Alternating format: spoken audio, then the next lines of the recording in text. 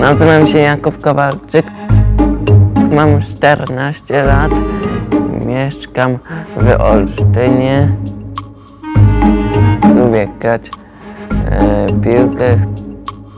Lubię powiedzieć na rowerze i konsol. Mam autyzm od 14 lat. Super? Kampania społeczna Bezpieczna różnorodność na Warmii i Mazurach.